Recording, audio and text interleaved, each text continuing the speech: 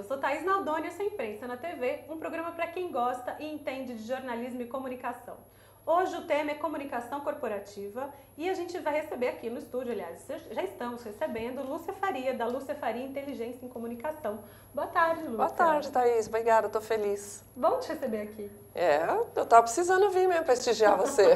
Lúcia Faria é uma parceira de muitos anos do Portal Imprensa, Verdade. da imprensa editorial. Foi nossa colunista, inclusive, né, Lúcia? Foi. Por um bom tempo, né? Acho que quase dois anos. Então... Depois eu peguei uns artigos que eu tinha escrito e transformei num livrinho e foi muito legal sobre comunicação organizacional. Super bacana, que tinha uma lua na capa, né? É. Ah, eu lembro. Memória boa você tem. Bom, vocês querem conversar com a gente, falar sobre comunicação corporativa, fazer perguntas para a Lúcia, bem fácil, bem fácil mesmo.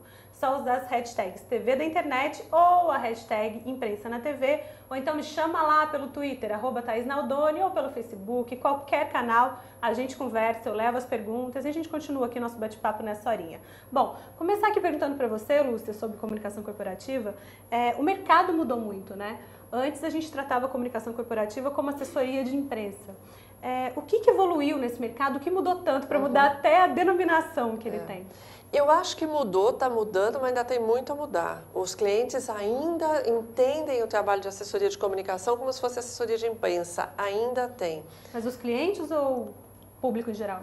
os clientes, principalmente, eles entendem, eles contratam a gente porque eles acham que eles vão ter mídia espontânea, substituindo a publicidade pela exposição gratuita na mídia. E não é uhum. esse nosso trabalho.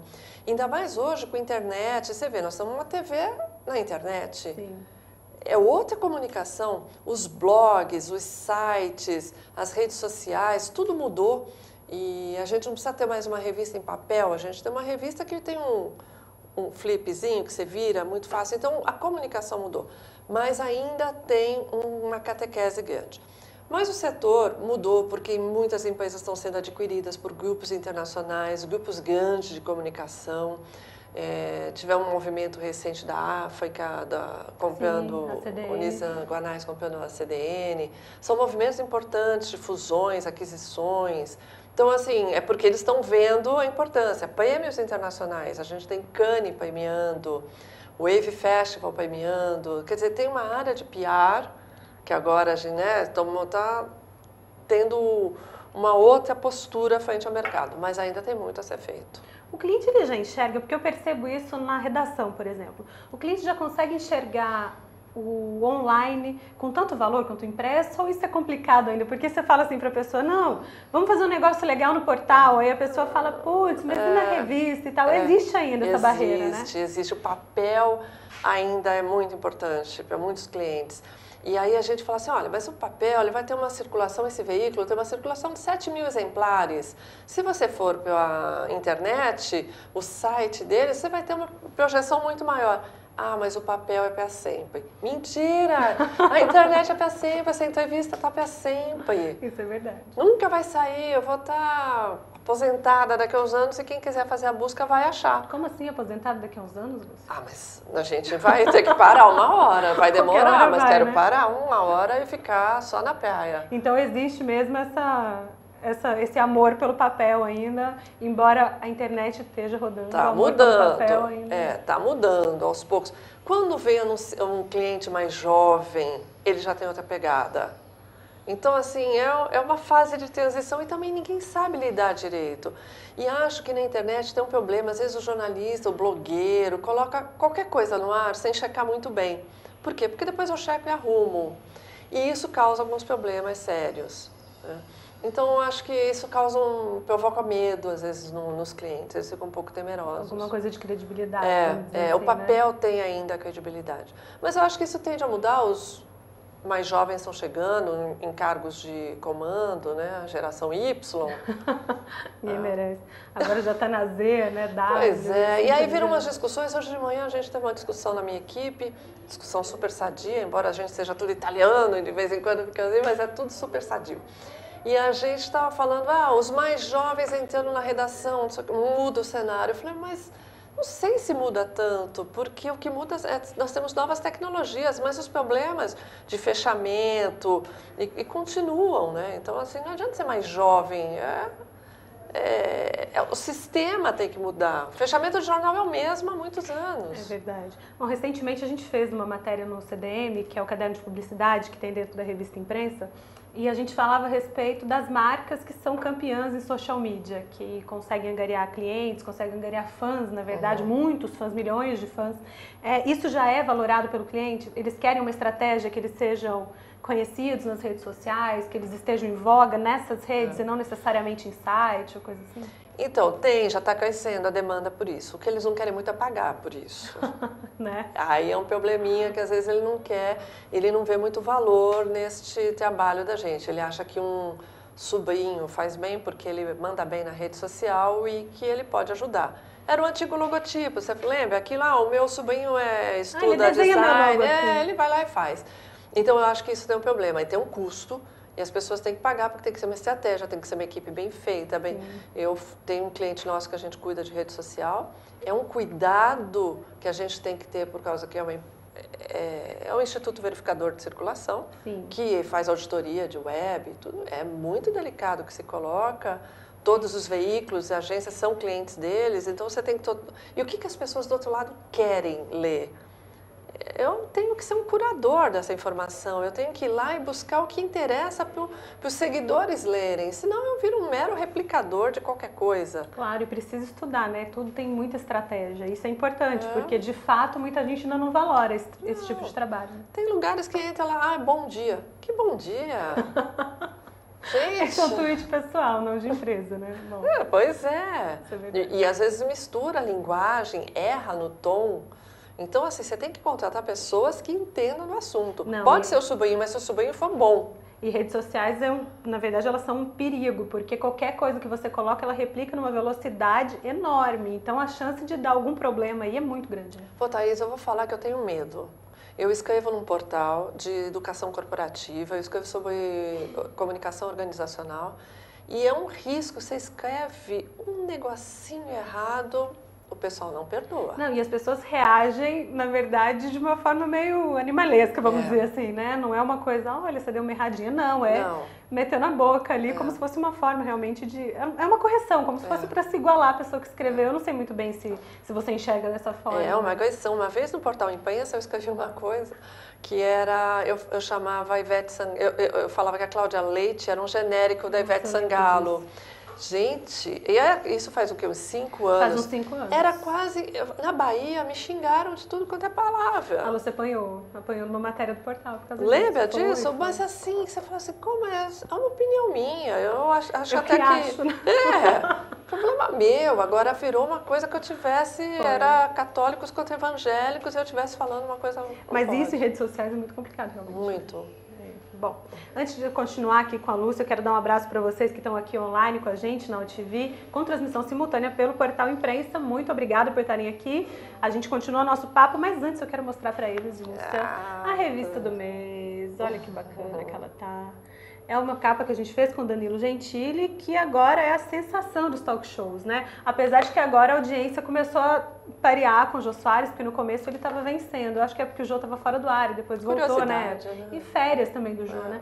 E aí ele voltou, agora a audiência está mais pareada, mas é uma coisa incrível pro horário, né? Porque pela primeira vez a gente tem três talk shows é. disputando mais ou menos a mesma faixa de horário, um na Band, um no SBT e um na Globo. E aí a gente falou com o Danilo Gentili porque ele realmente ele conseguiu grandes coisas, né? Você acha? No SBT, de madrugada, conseguiu seis pontos de audiência, é muita coisa, né? E ele é bacana? É bacana, é inteligente o garoto. Ah, Ele é publicitário de formação, foi realmente uma entrevista bem interessante.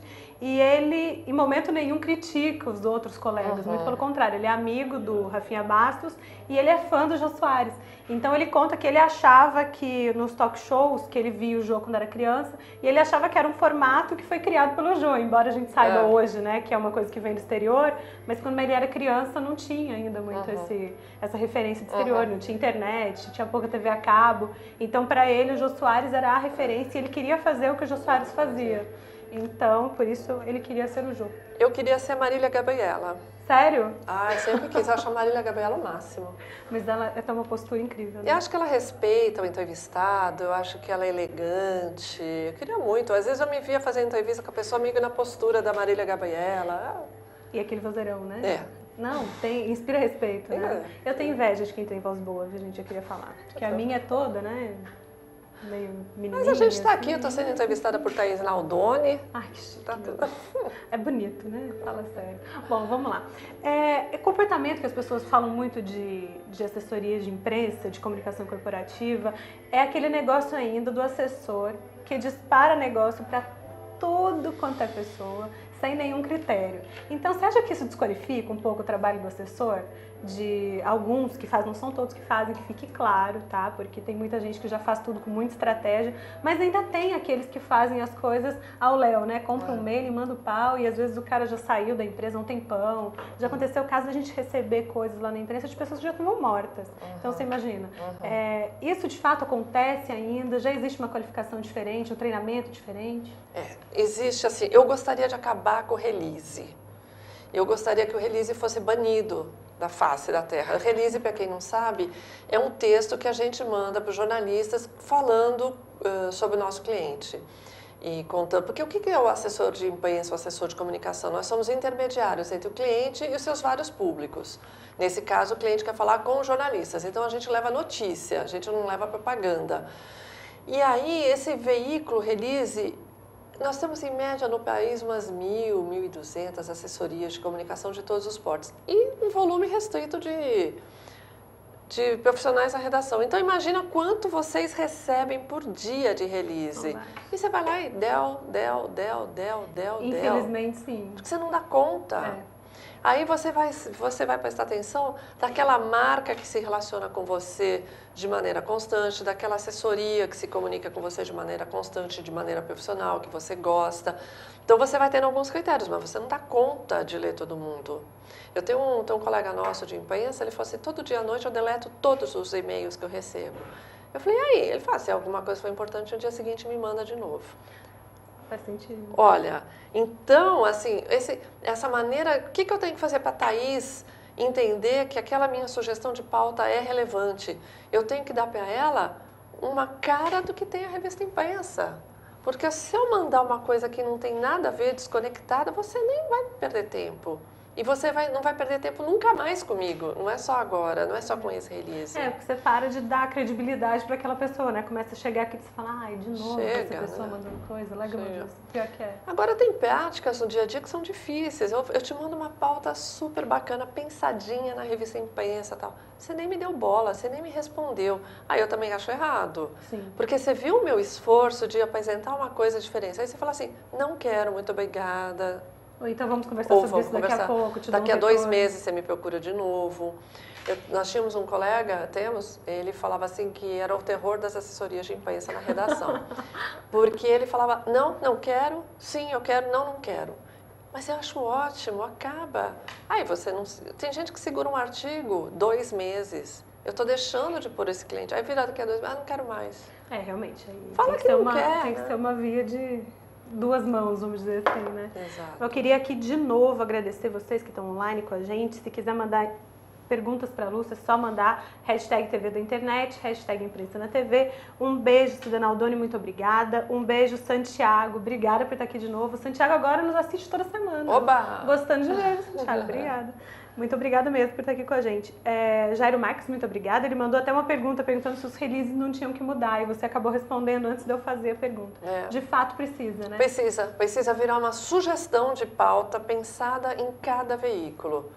É difícil, É porque o difícil. cliente quer no final um volume de clipping também. Então, isso que eu ia te perguntar, ainda existe a centimetragem? Tem gente que ainda quer centimetragem ou centimetragem mesmo é uma coisa que já não se É, eu não faço. É, tenho a empresa há 12 anos e desde o começo eu nunca fiz. Eu explico para o cliente o que, que eu tento fazer. Estabelecer metas antes e dar pesos. Então, ele é um veículo que ele quer sair na revista imprensa, a revista imprensa tem um peso importante para ele. Se a gente conseguir, se a gente cumprir, eu tenho uma prestação de contas para falar, olha, está de acordo. O que não pode é um cliente, por exemplo, de grande porte, que só quer clientes enormes, ele virar para mim e reclamar que não saiu na Pequenas Empresas Grandes Negócios. Hum. Eu falei, mas essa revista não é o seu objetivo, não está no teu... O cliente que vai vir dali não é o grande cliente. Então a gente tem que combinar o jogo antes e depois prestar contas. Eu faço um relatório hoje em dia muito baseado nos relatórios das redes sociais.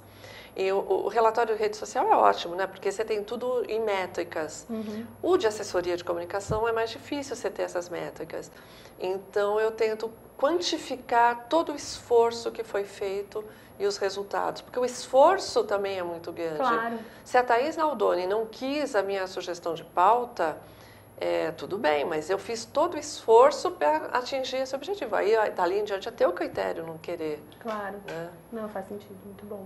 Bom, a Dati tá aqui com a gente, muito obrigada, viu? Não, é o, né? Ô, Dati, obrigada, desculpa, tá? De chamar de menina, é que eu tô com um negocinho desse tamanho aqui no iPhone dessa vez, tá difícil de ver.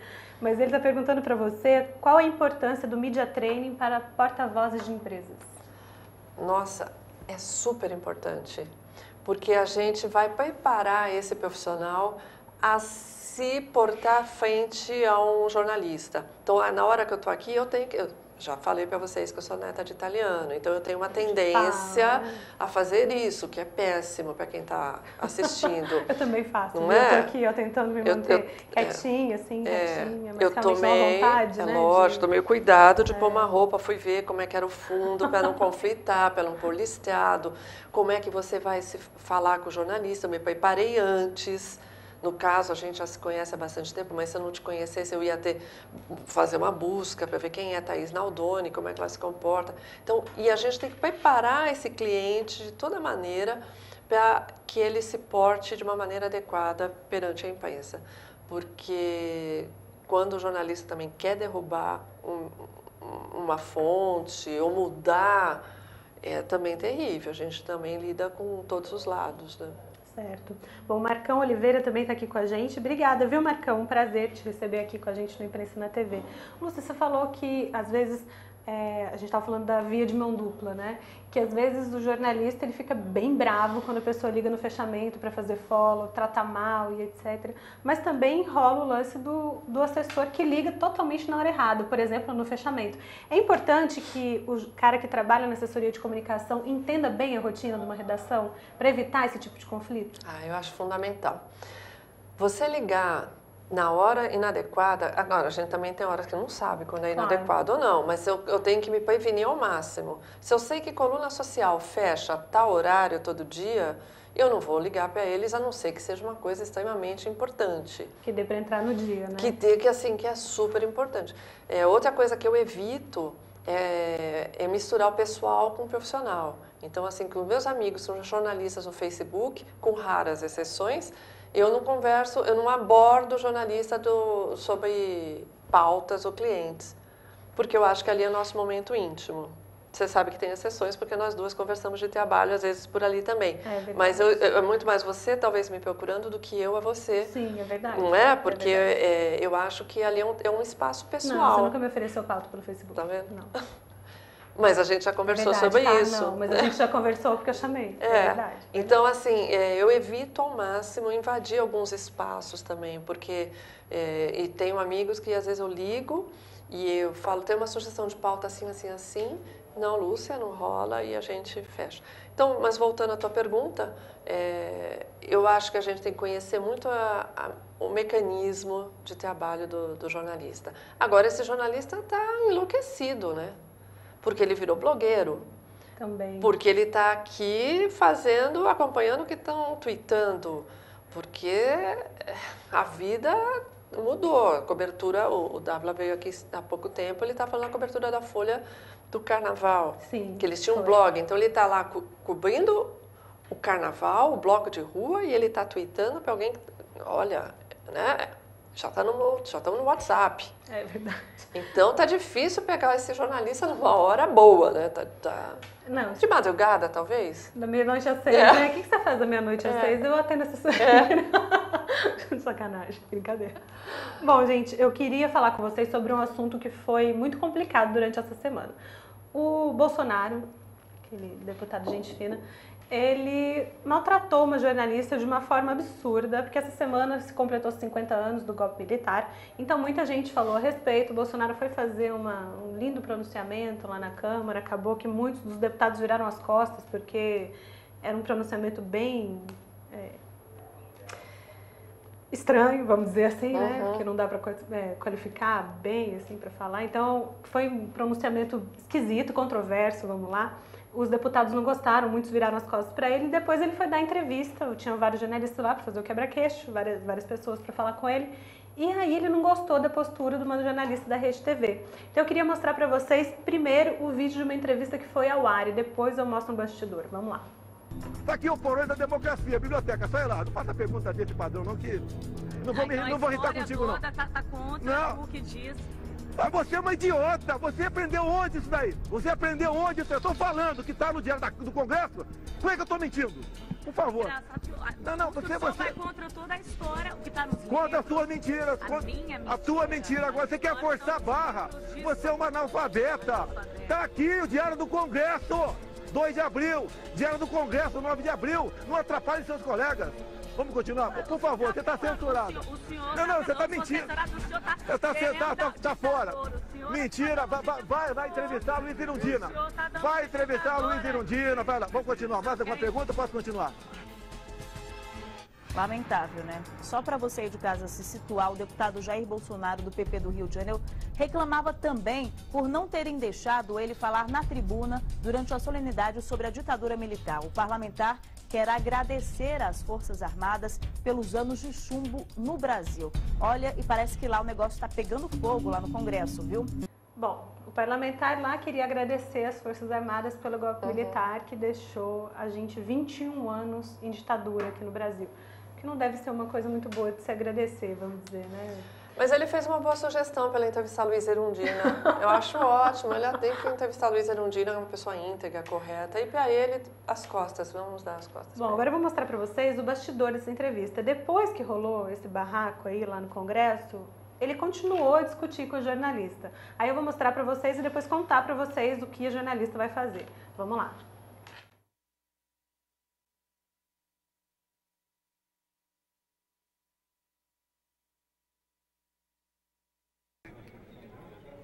Não quero te ofender jamais. Não, você é bonita.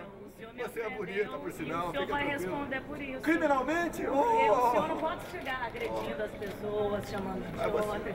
Ah, você, é, você é uma idiota. ah, você é uma idiota. Você é uma ignorante. Você é uma ignorante. Você está querendo impor a tua verdade para cima de mim. Eu não estou querendo impor vai, nada. PGR, vai entrar lá. Vai responder pelos seus atos, porque a gente não pode Eu fui até elegante contigo. Você quis impor a tua verdade para mim e não foi judicial. Com livros feitos pelo, pelo PT, o chancela do MEC. Eu te mostro livros aí do Zé de Seu Herói.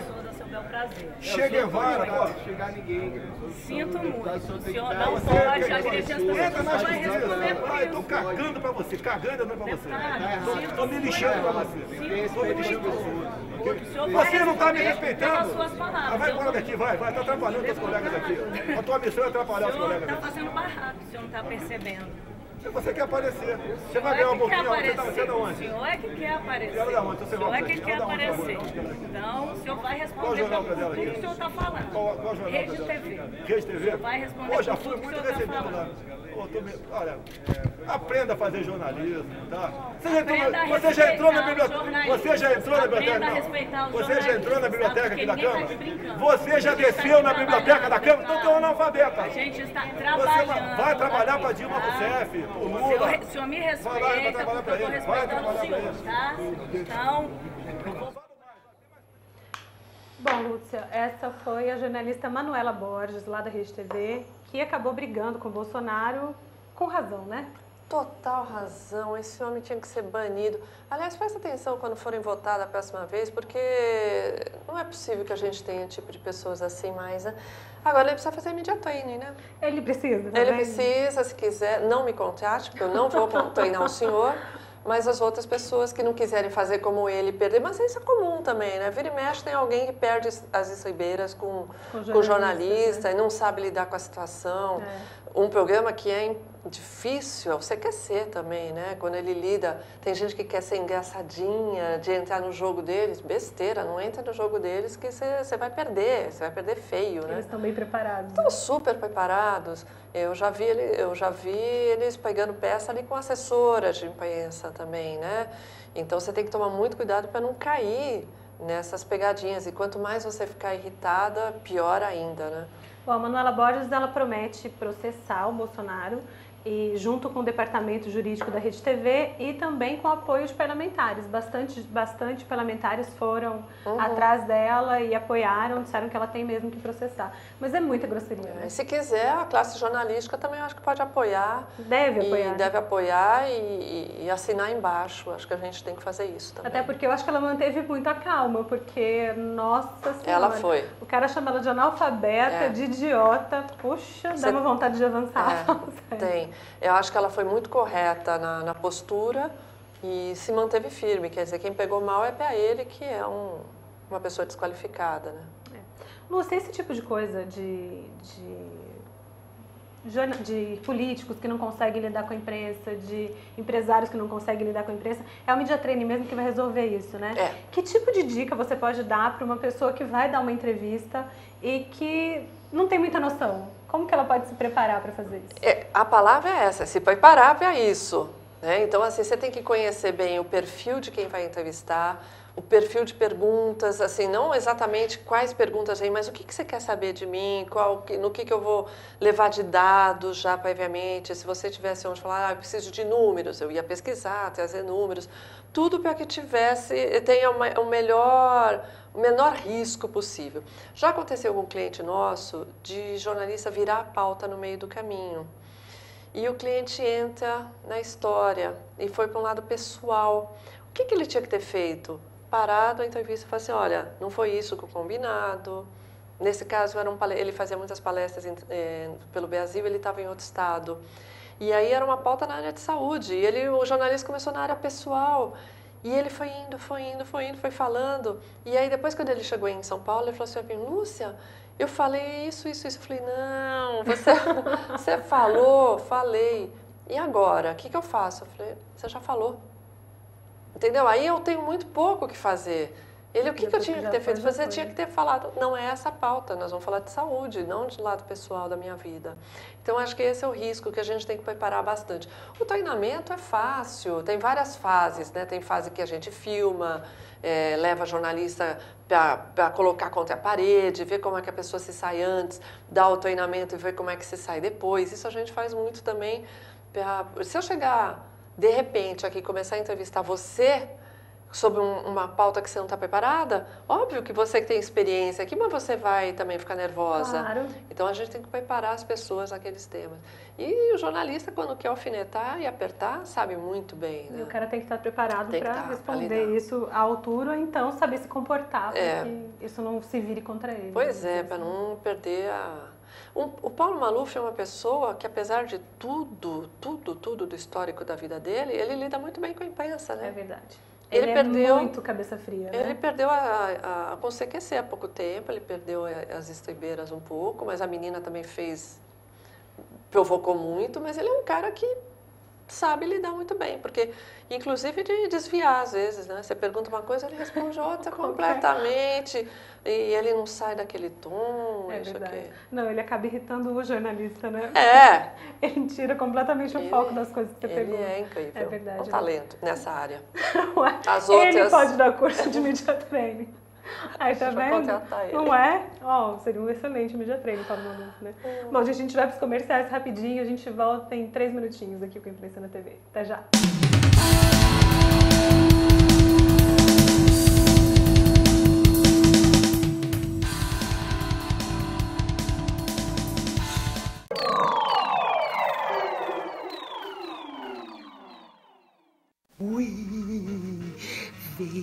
assistir Tirui. Venha assistir o I. Eu vou hipnotizar você. Venha assistir o I na UTV.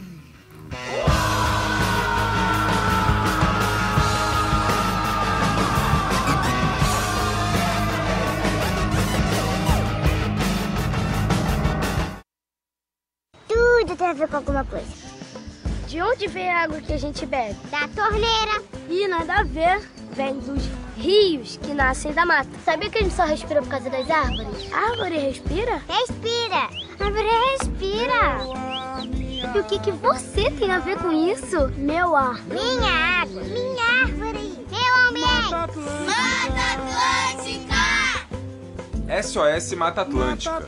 Mais 25 anos.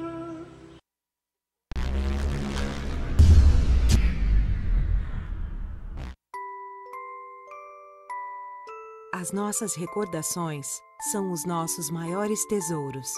Carregamos durante toda a nossa vida. Manipular, distorcer ou implantar falsas memórias, além de ser uma violência, é crime. Somos responsáveis por esse tesouro. Não promova alienação parental.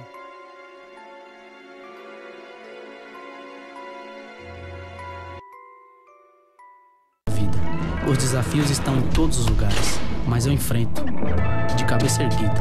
É no campo que eu mostro o meu melhor, com garra, determinação e trabalho. Adversário, marcação cerrada, driblo todos eles. Nada vai conseguir me parar. E sabe por quê? Porque eu acredito no meu talento. E sempre que entro em campo, jogo para ganhar. A partida vai começar. Vamos para cima.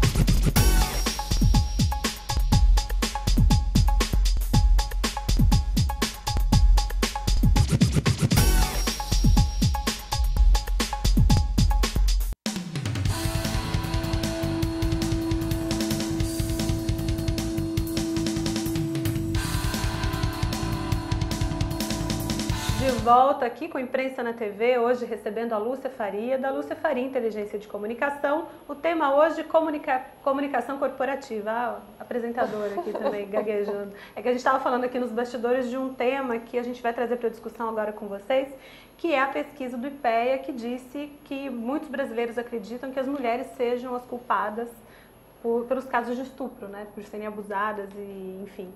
E uma jornalista, que é do Metro, lá de Brasília também, ela encabeçou uma campanha que é Não Mereço Ser Estuprada, e a partir de então, um monte de gente começou a devolver a campanha, fazendo ameaças, fazendo N coisas.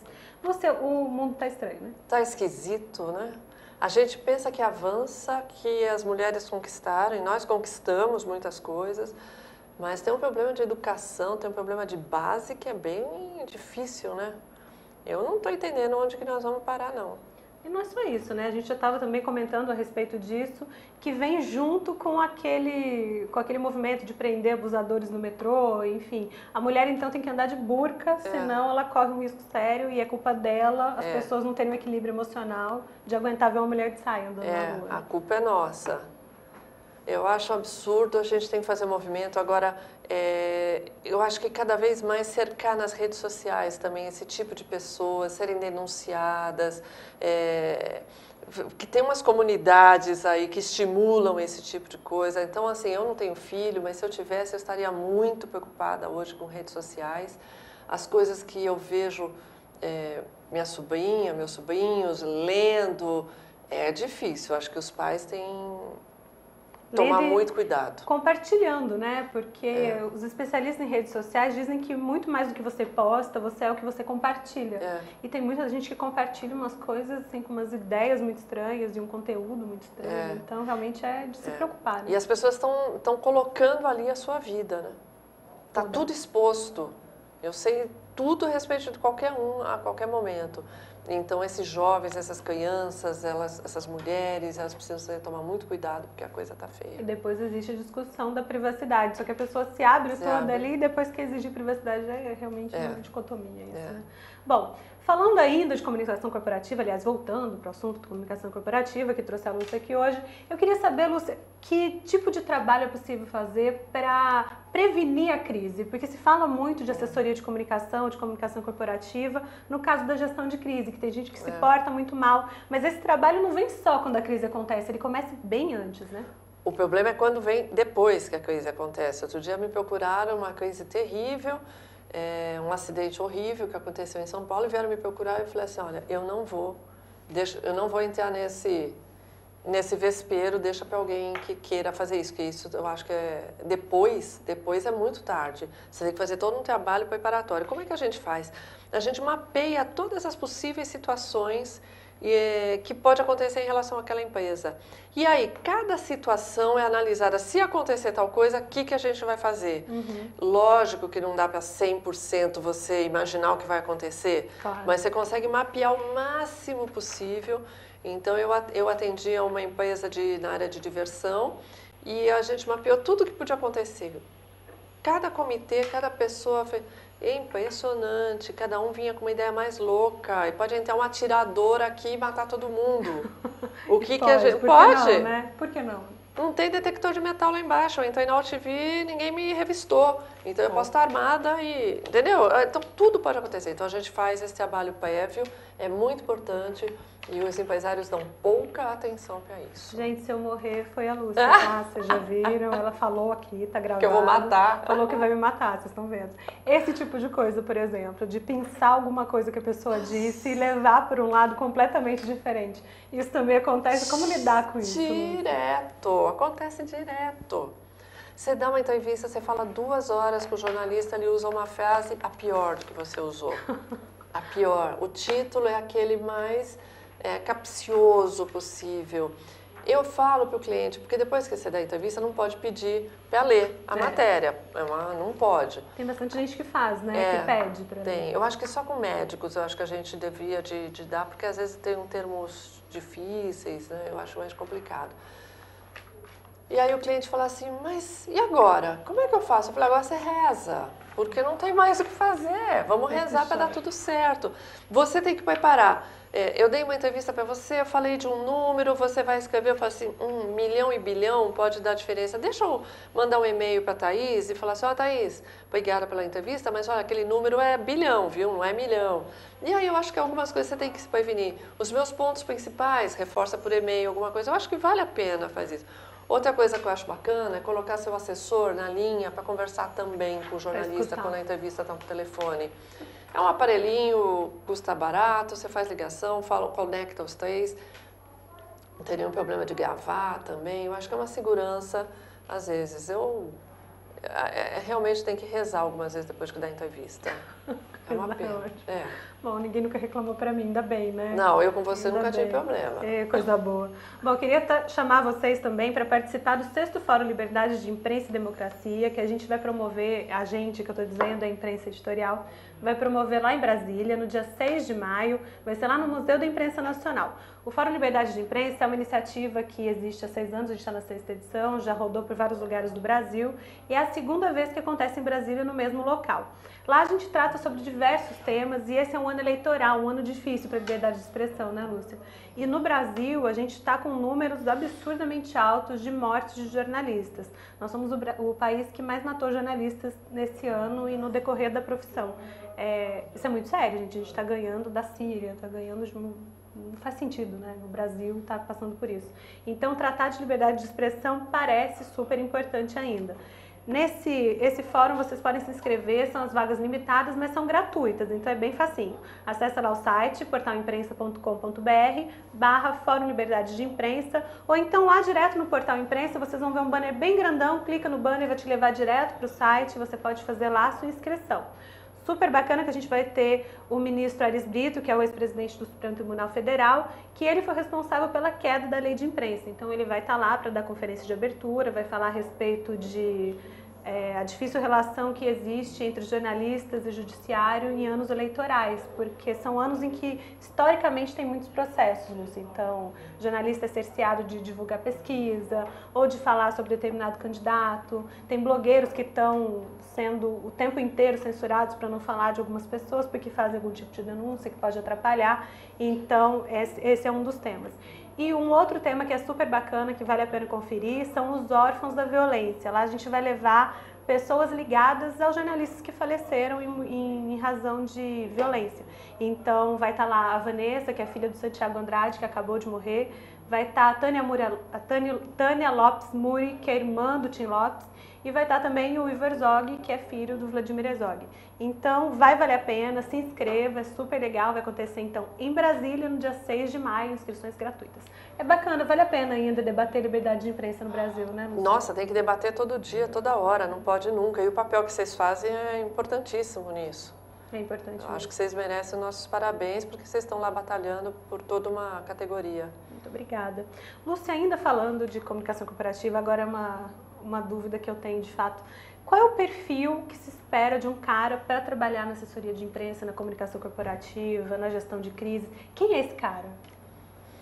O presidente da Berge, o Paulo Nassar, uhum. ele chama da miscigenação da profissão. Uhum. Eu acho, esse, eu acho esse conceito bem interessante. O que, que ele quer dizer? Que é uma área que cabe um administrador, que cabe um profissional de relações públicas, um jornalista, um publicitário. É uma área que é, não tem uma, uma linha de corte. Eu, particularmente, gosto mais de trabalhar com o pessoal de, R, de RP e, pessoas, jornalistas. É o meu foco. Mas eu acho que é uma área que cabe qualquer profissional. Entendi. É, e esse cara tem que ser como? Ele tem que ser analista, ele tem que ser multifacetado, como diz o Paulo, o Paulo Nassar? Tem que ser, porque a gente não está lidando mais com um canal. Era fácil antigamente. Eu mandava, eu tinha que me comunicar com um canal. Hoje são vários canais. Uma marca tem que falar com, é, é tem que estar presente em vários públicos. É, fazer conteúdo, fazer rede social, essa, essa confusão toda que acontece na, uh, com os políticos, que a gente está falando de media training a gente tem que tomar um cuidado muito grande com as redes sociais. O que, que, nós, o que, que nós vamos falar para esse público? Alguém reclamou do nosso produto? Que reação que nós vamos ter? Então, assim, a gente tem que ter um profissional muito bem preparado para não perder a mão nesse, nesse relacionamento com, com o consumidor. As pessoas não vão mais para o saque, elas vão para as redes sociais. É. Entendeu? Então eu tenho que estar com, com um profissional que não, precisa ser mais um jornalista para responder. Ele pode ter uma outra formação. Certo. Mas é ainda uma área que emprega muito jornalista, né, Lúcia? No momento que as redações estão se retraindo cada vez mais, a assessoria de imprensa, a comunicação corporativa, ela vem absorvendo muito desses profissionais e ela ainda tem muito espaço para crescer, né? Ela tem espaço para crescer. Agora, esse profissional precisa se preparar para esse novo momento também, porque uma coisa era trabalhar na redação. Então, nos anos 90, muita gente saiu de redação e foi montar a sua assessoria de imprensa. Eu, inclusive, vim... Saí do meio mensagem. Saí né? do meio mensagem, onde fiquei oito anos. Fui para a Editora Globo fazer área de, de comunicação. E aí fui para a USP fazer uma pós-graduação na área de comunicação organizacional e relações públicas. Uhum. Por quê? Porque eu sentia que eu tinha um pé que não estava firme. Então, eu acho que isso torna a gente um profissional diferenciado. Aí vieram as redes sociais, uma outra formação. Já fiz quatro cursos e tenho que fazer outro. Agora eu quero fazer um curso grande de gestão, porque eu acho que ainda é uma outra perna que está capenga. E gerir é muito difícil. E é né? muito difícil. Então eu estou me qualificando, eu estou passando, eu não sou mais jornalista, eu sou uma empreendedora. Então a gente tem que virar essa chave. Então o jornalista saiu da redação, tá ótimo, não tem mais mercado, vamos para outras coisas. Mas ele precisa se preparar para esse novo universo. Você falou de empreendedorismo agora. é, isso falta, eu acho, na- nos cursos de jornalismo, né, na- nos bancos universitários, porque de fato é uma profissão que o empreendedorismo ele é enorme, né? Tem muito campo para você fazer várias coisas diferentes e não necessariamente dentro das redações tradicionais. Falta isso, né? Esse preparo, porque o jornalismo, jornalista não tem essa cabeça empreendedora. né? Não, falta. A gente tem que ser um administrador. Você vai ter teu blog e você vai, vai ter um Media Kit e você vai começar a faturar com isso, ganhar dinheiro. Tem muita gente ganhando dinheiro agora. Tem estudante de jornalismo ganhando muito mais do que nós que estamos aqui há 20 anos trabalhando. É. Eu tô há 30, então fui 20 para você que nem... Acho que É, eu tô, não sei fazer conta, 12 anos. Então, então, assim, a gente tem que aprender também. Eu, na faculdade, não tinha nem assessoria de imprensa naquela época. Hoje já tem, ou muitas É. faculdades já tem. Ótimo. Agora, eu concordo contigo. Tem que ter uma, uma parte de gestão também para a gente é, ter domínio. Eu, ano passado, contratei uma empresa é, que é focada em agências de médio e pequeno porte e cuida da parte de gestão. Eu fiz esse investimento porque eu precisava desse suporte. Importante. É muito importante. Agora eu preciso dar uma virada no meu negócio. Eu preciso avançar mais ainda.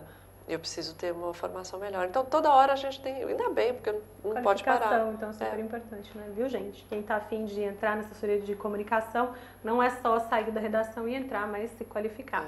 Bom, historicamente agora, viu, Lúcia? Historicamente é ótimo, porque eu estou agora no programa, esse programa está fazendo dois meses, né? O Impressão na TV voltou há dois meses, vai fazer dois meses dia 7. Então, historicamente, nesses dois meses, a gente tem mostrado em cada programa alguma coisa curiosa que acontece com jornalistas pelo mundo todo aí.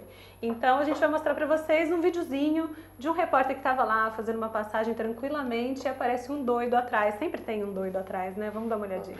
This is from Roger Lewis, the district chief at JFRD, that there was a fire in the attic of a home. Some roofing work is being done this morning on a home. Some hot material on the roof may have caught on fire. Two renters, two people inside who are renting the home, along with four dogs, got out safely. The fire was put out within 15 minutes. As I said, the uh, ambulance just left, a fire truck just left, and there's a firefighter there right now, uh, but uh, everyone is out safely. We're live tonight. David Williams, First Coast News, ABC 12, ABC 25, back to you. Achei bacana que o cara não perdeu a linha, né? Não. Ficou Muito bacana, bom. ali, né? Não é? Quem faz ao vivo sofre, né? Muito. E dá um nervoso, né? Tem uma hora que você, se eu olhar para cá e me distrair um pouco, já dançou, né? Eu acho que o pessoal que entra ao vivo todo dia é de coragem. Não é? Agora tem uma coisa que eu queria dizer, que é a importância das pessoas com- fazendo conteúdo, né?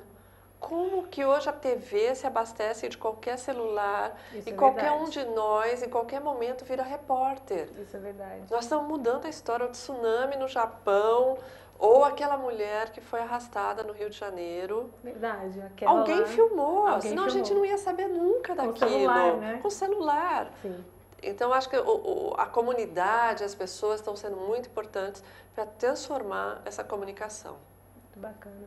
Gente, o Impressão na TV tá chegando ao Hum. finalzinho. Lúcia, primeiro, obrigada por ter vindo, viu? Imagina. Prazer te receber aqui. E quer passar um recado pro pessoal, dar o site da agência? Vamos lá. Nossa, propaganda assim, ó. www.luciafaria.com.br e a gente pode conversar sobre qualquer assunto. Bom, se eu fosse vocês, eu escreveria pra Lúcia, porque de fato ela conversa sobre qualquer assunto. É uma companhia super agradável, vale a pena. Inteligente, bacana. Muito bom. Nossa, obrigada, Thaís. Obrigada, viu? Obrigada por ter vindo. Imagina, eu que agradeço. Bom, vocês aí, muito obrigada mais uma vez por estarem com a gente aqui no Imprensa da TV. Um beijo enorme. Na semana que vem, nesse mesmo bate-horário e bate-canal, das 3 às 4, a sexta-feira ao vivo, a gente vai receber o Ricardo Gandur, que é o diretor de conteúdo do Grupo Estado. Então vale a pena, vai ser uma entrevista bem bacana, tão boa quanto a da Lúcia, que estava aqui agora. Então um beijo, para falar comigo bem fácil, já sabem. Usem as hashtags, me chamem no Twitter, arroba Naldoni, ou então lá pelo Facebook, só me encontrar, falar comigo, sugestões, fiquem à vontade, estamos ali. Então um beijo para vocês, acessem para saber mais no www.portalimprensa.com.br e eu vejo vocês na semana que vem. Tchau, tchau!